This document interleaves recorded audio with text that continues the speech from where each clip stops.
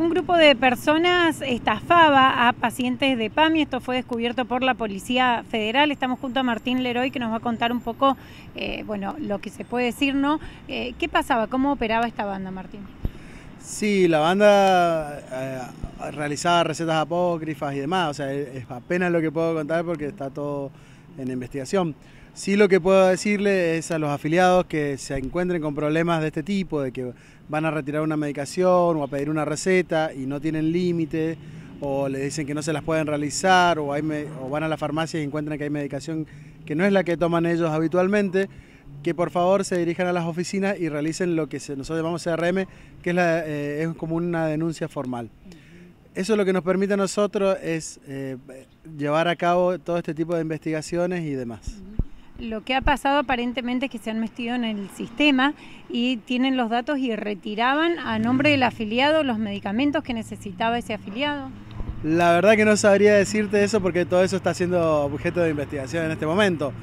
Pero sí a tener mucho cuidado, a no dar los números de, de, afiliado, de afiliados en las tarjetas. Por ahí eh, funcionaban de una forma que le decían, mire, eh, tenemos un descuento especial para los afiliados de PAMI, deme su número y yo le hago el 20%. Y bueno, esas cosas es lo que por ahí hay que estar atentos y, alertas. ¿Han recibido denuncias acá en la sede? Sí, nosotros todos los días recibimos reclamos y denuncias de personas que eh, se encuentran con este tipo de problemas.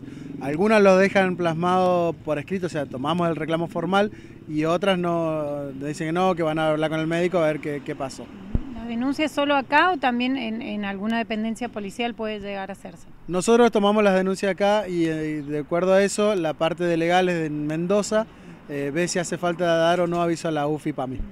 En general, ¿qué medicamentos han estado más eh, robando, por así decirlo? el problema principal son con los medicamentos de diabéticos y demás que tienen un alto valor. ¿Horario de atención acá de PAMI? De 7 a 13.30 horas es el horario de atención al público. Eh, lo que es, ya que estamos acá, aprovechamos eh, lo que es entrega de pañales, de, drogas para pacientes crónicos y demás, ¿cómo está?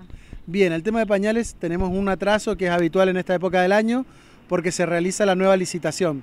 Entonces, este mes de agosto es, hay un pequeño atraso, pero luego ya en septiembre empezamos, arrancamos de forma normal.